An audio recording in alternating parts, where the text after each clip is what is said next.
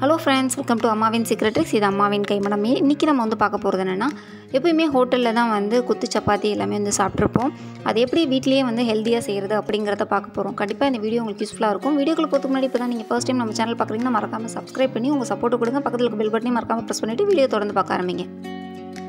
கொத்து சப்பாத்தி செய்கிறதுக்கு வந்து பார்த்திங்கன்னா கடாயில் ஒரு ரெண்டு டீஸ்பூன் அளவுக்கு வந்து கடலெண்ணெய் வந்து சேர்த்துக்கிறேன். சிக்கு கடலெண்ணெய். இதில் வந்து பார்த்திங்கன்னா ஒரு சின்ன பீஸ் பட்டை நட்சத்திர சோம்பு ஒரு கிராம்பு. இதை வந்து போட்டுக்கோங்க. அடுத்து கொஞ்சமாக கருவேப்பிலை போட்டுக்கலாம். அடுத்து மீடியம் சைஸில் வந்து ஒரு பெரிய வெங்காயம் எடுத்து நல்லா குட்டி குட்டியாக சாப் பண்ணி அதையும் சேர்த்துக்கோங்க.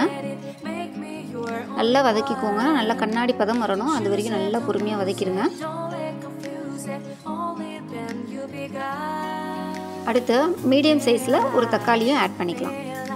நீங்கள் ஏற்கனவே வந்து வீட்டில் சப்பாத்தி செஞ்சுருக்கீங்க அப்படின்னா பேலன்ஸ் இருக்கிற சப்பாத்தியை இந்த மாதிரி வந்து செஞ்சு கொடுத்து பாருங்கள் உங்கள் குழந்தைங்களுக்கு ரொம்பவே பிடிக்கும். மீடியம் சைஸ் தக்காளி அதையும் நல்லா குட்டி குட்டியாக கட் பண்ணி நீங்கள் சேர்த்துக்கலாம். கொஞ்சமாக சால்ட் சேர்த்து நல்லா வதக்குனிங்கன்னா நல்லா மேஷ் ஆகிடும்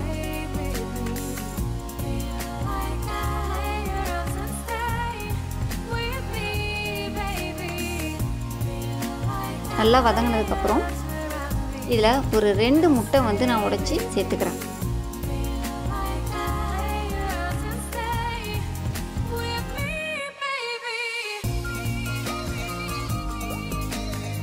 முட்டையை வந்து விட்டதுக்கப்புறம் உடனே வந்து கிளறிடாதீங்க. அது ஒரு மாதிரி கூழ் மாதிரி ஆகிடும் ஜஸ்ட்டு அந்த கருவை மட்டும் அப்படியே லைட்டாக மிக்ஸ் பண்ணி விட்டுட்டு அப்படியே ஒரு ரெண்டு மூணு செகண்ட்ஸ் வந்து அப்படியே விட்டுருங்க. நல்லா கீழே நல்லா வெந்ததுக்கப்புறம் அதை அப்படியே பிரட்டி விட்டிங்கன்னா தான் உங்களுக்கு வந்து கொஞ்சம் பெரிய பெரிய பீசஸாக வந்து கிடைக்கும்.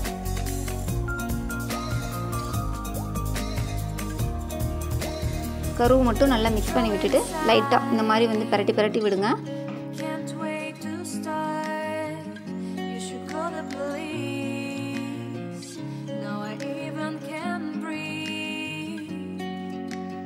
அடுத்து ஒரு எட்டு சப்பாத்தி வந்து நான் எடுத்து இந்த மாதிரி மீடியம் சைஸில் கட் பண்ணியிருக்கேன். அதையும் இதில் நம்ம சேர்த்து நல்லா பரட்டி விட்டுக்கலாம். சப்பாத்தி மட்டும்தான் போடணுமா? அப்படிலாம் இல்லை. சப் பரோட்டா கூட நீங்கள் வந்து வீட்லேயே ரெடி பண்ணியிருந்தீங்கன்னா இந்த மாதிரி வந்து செய்யலாம். ஜஸ்ட்டு நீங்கள் செஞ்ச குருமா வந்து நீங்கள் கொஞ்சம் எடுத்து வச்சுருந்தா போதும். நல்லா மிக்ஸ் பண்ணி விட்டுக்கலாம். அந்த முட்டை வந்து நல்லா ஃபுல்லாக சப்பாத்தியில் வந்து படுற மாதிரி மிக்ஸ் பண்ணி விட்டுக்கோங்க. அடுத்து நான் ஒரு முக்கால் கப் அளவுக்கு வந்து நான் குருமா எடுத்து வச்சுருக்கேன். இது வந்து வெஜ் குருமா தான். அதையும் வந்து நல்லா விட்டுட்டு நல்லா ஃபுல்லாக மிக்ஸ் பண்ணி விட்டுடலாம்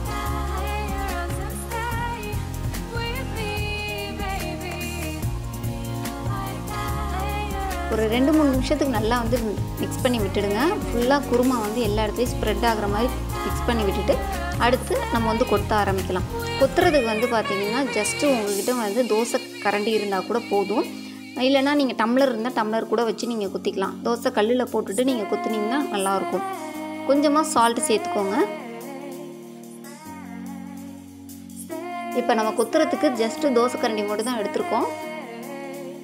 ஜஸ்ட்டு இந்த மாதிரி கொத்துனிங்கனாலே உங்களுக்கு வந்து நல்லா சாஃப்ட் ஆகிடும் எல்லாம் ஒன்றோட ஒன்று மிக்ஸ் ஆகிடும்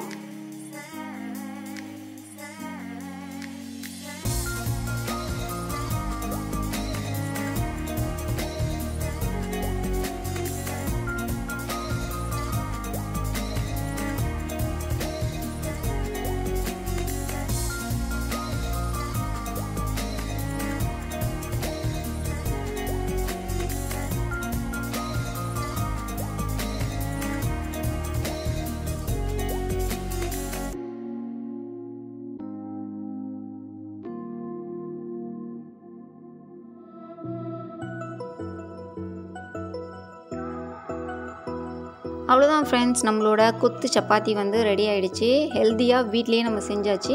அப்படியே ஹோட்டல் ஸ்டைலில் இருக்கும். ட்ரை பண்ணி பாருங்கள் இந்த வீடியோ உங்களுக்கு பிடிச்சிருந்துச்சுன்னா ஒரு லைக் கொடுங்க. அதுக்கு நல்ல மோட்டிவேஷனாக இருக்கும். இந்த வீடியோ உங்களுக்கு யூஸ்ஃபுல்லாக இருந்தால் உங்கள் ஃப்ரெண்ட்ஸ் கூட கண்டிப்பாக ஷேர் பண்ணிக்கோங்க.